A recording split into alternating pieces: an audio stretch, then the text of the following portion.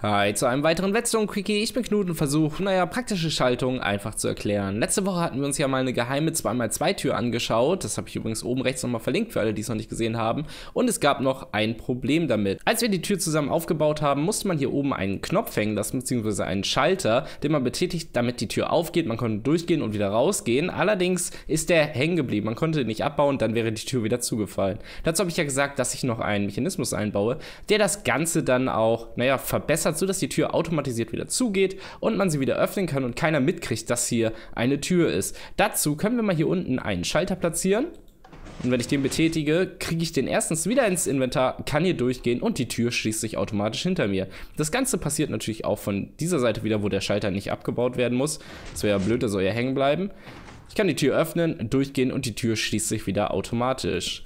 Jetzt fragt ihr euch sicher, wie das Ganze aufgebaut ist und ob das eine fürchterlich komplizierte Redstone-Schaltung ist. Aber eigentlich ist das Ganze ganz einfach. Das sind zwei Segmente. Einmal das hier, was dafür verantwortlich ist, dass die Tür nach einer gewissen Zeit schließt. Und einmal das hier, was dafür verantwortlich ist, dass der Knopf wieder aus der Wand springt. Das ist eigentlich ein ziemlich cooler Mechanismus, den man auch noch für andere Sachen verwenden kann.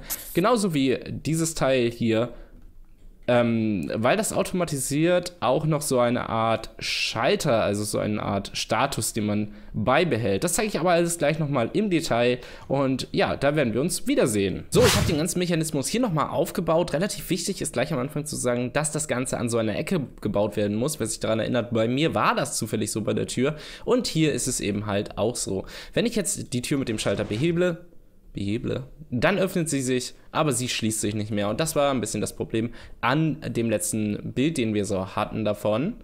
Und das werden wir jetzt ändern. Dazu habe ich einige Sachen vorbereitet. Ich habe die Materialien, die brauchen, noch schon mal zusammengepackt hier. Wir brauchen eigentlich nur einen Redstone-Block, zwei normale Kolben, zwei klebrige Kolben. Soll ich übrigens Pistons sagen? Ich weiß mal nicht, Kolben hört sich immer so komisch an.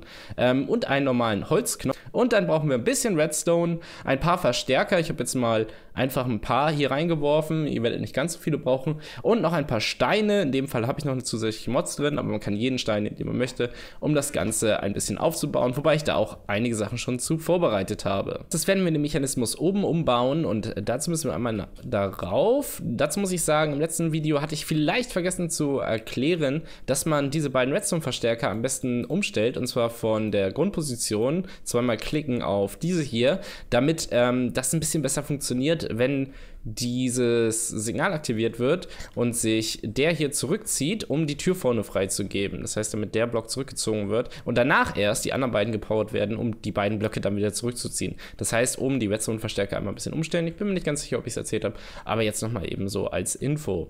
Jetzt fangen wir an, hier oben etwas umzubauen. Dazu nehmen wir unsere Fackel, die das ganze Signal, äh, System bepowert, damit es ähm, ja, an ist, also damit die Tür sozusagen an ist, setzen sie hier oben hoch und dazu habe ich hier eine eine kleine Treppe gebaut, um ein Signal von unten hochzuführen, das jetzt unseren Schalter vorne ersetzen soll.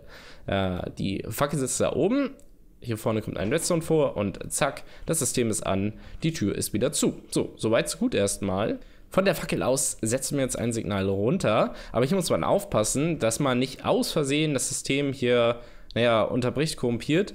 Äh, das heißt, hier wird einmal ein Redstone-Verstärker gesetzt und äh, aus Sicherheitsgründen setze ich hier auch nochmal ein, ich möchte keinen Ärger wieder mit irgendwelchen Bugs haben an den Kolben. Von hier aus geht jetzt das Signal einmal runter und jetzt haben wir es unten und hier können wir dann gleich weiter aufbauen.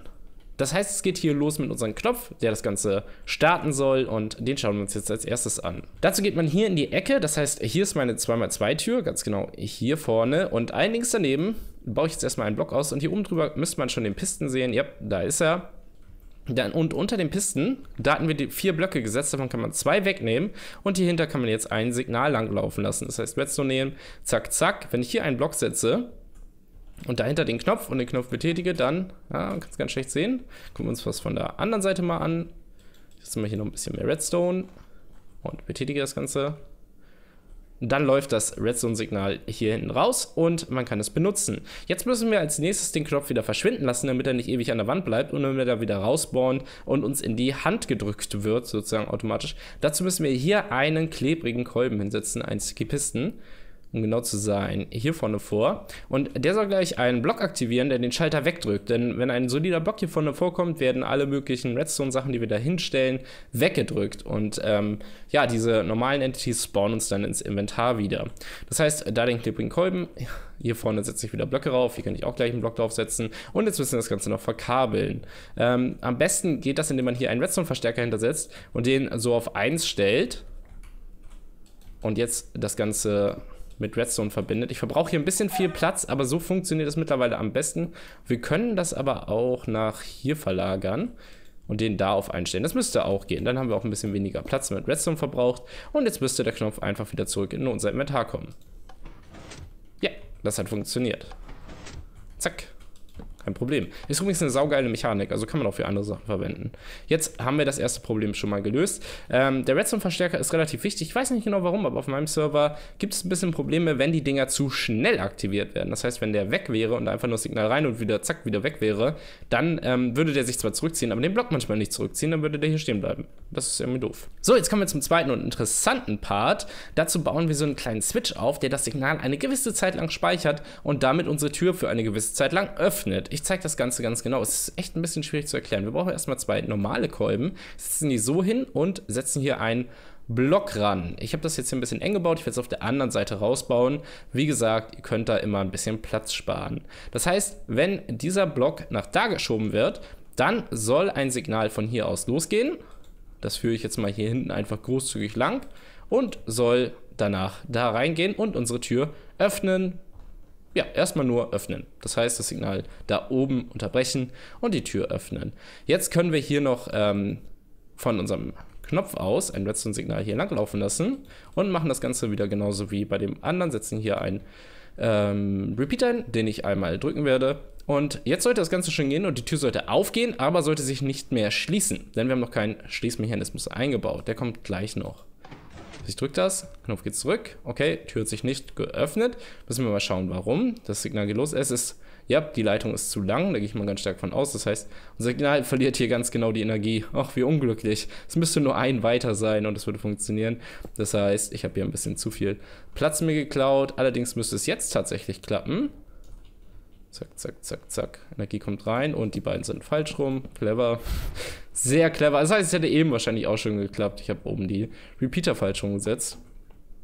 Und jetzt geht das Ganze. Jetzt ist die Tür schon mal offen. Zurück. Und jetzt müssen wir sie nur noch schließen. Und dann sind wir schon durch damit. Das ist also, wie gesagt, relativ einfach. Der Mechanismus, ich erkläre den nochmal ganz kurz, funktioniert so. Das Signal kommt von hier, von unserem Knopf, geht da rein, der schiebt das mit dem Kolben nach da und dadurch können wir hier ein Signal lang laufen lassen, das dann da hochführt. Jetzt müssen wir das Ganze aber auch wieder ausschalten und dazu müssen wir ein zweites Signal in unseren anderen Kolben setzen, der den Block wieder zurückschiebt. Und so kann man ihn immer wieder aktivieren, wieder deaktivieren. Jetzt habe ich das Signal hier lang laufen lassen, anstatt hier lang. Das ist ein bisschen gefährlich, weil ich jetzt ein bisschen wenig Platz hier habe. Allerdings können wir das andere Signal auch von, ja, ich glaube von hier aus laufen lassen. Müssen wir mal gucken, ob wir das platztechnisch hinkriegen. Das heißt, ich habe jetzt einfach einen weiteren Repeater hingesetzt, setze die alle auf drei, die von hier kommen. Den auch, den auch und den hier auch. Setze das Ganze nochmal ein bisschen höher, damit wir hier hinten Platz haben. Da hinten auch einen Repeater ran. Zack, zack. Und das Ganze noch ein bisschen nach hinten gesetzt weil das muss ich hier gar nicht machen. So. So, jetzt ist es schon fertig. Ich erkläre es kurz einmal. Wenn unser Signal vom Knopf reinkommt, zack, zack, zack, zack, zack, geht es hier hinten runter, aktiviert einmal den, der den Block nach vorne schiebt und danach geht das Signal ganz, hier ganz, ganz langsam verzögert durch. Immer durch einen Repeater. Durch den nächsten, durch den nächsten, durch den nächsten. Die Tür ist schon lange offen. Durch den nächsten, durch den nächsten. Geht hier hinten rum und geht auch nochmal hier durch und schiebt das Ganze dann wieder zurück. Das Ganze ist eben halt zeitversetzt, was ziemlich cool ist. Und eben halt die einfachste Lösung dafür. Also kein Problem. Und wenn wir es jetzt aktivieren, jetzt ist die Tür natürlich wieder offen, weil wir es gerade erst aufgebaut haben. Zack, zack, geht die Tür auf. Und sie geht wieder zu. Wow. Das ist ziemlich cool. Jetzt geht die Tür auf. Und jetzt geht sie wieder zu. Ähm, das Ganze schauen wir uns jetzt nochmal da an. Wenn ich mich ein bisschen beeile, schaffen wir es auch. Oh, da, da läuft das Signal durch und es schiebt den Block zurück. So, hier, zack, zack, zack, zack. Und wieder zurück. Ja, Ziemlich cool, funktioniert relativ gut. Wie gesagt, wenn der Block dahin geschoben ist, muss hier ein Signal rausgehen, das dann hier hochführt. Hier an, unsere, an unseren Kopfbereich der ganzen Konstruktion und dann hier unten runter. So haben wir das am einfachsten zumindest verbunden. Und hier immer schön aufpassen, dass sich die Redstone-Signale, dass sich die Strahle nicht kreuzen, dass sich die Redstone-Signale nicht überlagern. Doch ein Problem zu lösen. Die, die aufpassen, werden es auch schon wissen. Wenn ich jetzt hier reinlaufe und drin bin, wie komme ich da wieder raus? Das haben wir bis jetzt noch gar nicht, äh, ja, noch gar nicht uns drum gekümmert. Dazu kann ich einfach hier vorne einen ganz normalen Knopf setzen. Und wenn der hier unten ist, blockiert er auch keine anderen Signale. Allerdings läuft hier unter irgendwo die Steuerung für den unteren Bereich. Deswegen muss hier vorne Repeater hintergesetzt werden. Und die routen sozusagen das Signal von hier nach da durch. Und ähm, jetzt wird es hier ein bisschen eng. Aber wir kriegen das alles hin. Zack, zack. Das heißt, ich lasse das Signal von dem Knopf hier durchlaufen. Dann hier umschwenken und es macht auch nicht unser Signal hier kaputt, weil das der Repeater nur in die Richtung geht und von hier kein Signal annehmen kann. Und dann läuft das Signal hier zu und öffnet da oben unsere Tür. Das ist ziemlich cool. Hier muss man ein bisschen schnell sein mit dem Durchlaufen. So, also wir benutzen jetzt hauptsächlich den Knopf dazu, um das Ganze zu öffnen, ohne Verzögerungssignal. Ähm, das ist ein bisschen einfacher. Allerdings könnte man das Ganze natürlich auch in das Verzögerungssignal leiten. Das wäre auch kein Problem. Ähm, da würde bloß der Knopf da vorne nochmal rausgeschossen kommen. Probieren wir das auch nochmal aus. Jetzt können wir ganz langsam, locker flockig durchgehen weil das eben halt mit dem ganz normalen Signal geöffnet wird. Ja, das sind die beiden Sachen, die ich damit zeigen wollte. Und ich glaube, es ist ganz cool geworden. Hier, das hier ist eine sehr, sehr geile Funktion. Daraus kann man noch allen möglichen anderen Kram bauen, auf jeden Fall aus diesem zeitgesteuerten Flipflop. Man kann natürlich auch ein richtiges Flipflop daraus machen, ähm, das dann immer den, das Signal eben halt immer hin und her switcht. Ist sehr cool. Und ja, das ist meine Kreation der 2x2-Tür. Wie gesagt, wer, das schon kennt, okay, cool. Alle anderen würde ich mich sehr über ein Like freuen. Ähm, das bringt mir sehr viel. YouTube liebt das und lasst mir gerne einen Kommentar dazu da. Und falls ihr auch Ideen oder Fragen habt zu Redstone, gerne ab in die Kommentare damit. Ich kümmere mich darum. Und äh, dann kann ich nur noch sagen, abonniert den Kanal für mehr oder eben halt für Mod-Tutorials oder meine Themenvideos, die sehr interessant sind. Und schaut auch auf jeden Fall die anderen Videos hier, die ich hier jetzt direkt verlinkt habe, auch mit Redstone Animationen ziemlich cool gemacht. Und damit vielen Dank fürs Zuschauen. Ich wünsche euch noch eine richtig geile Zeit. Ähm, euer Knut, bis dann. Ciao! da da da da da da da da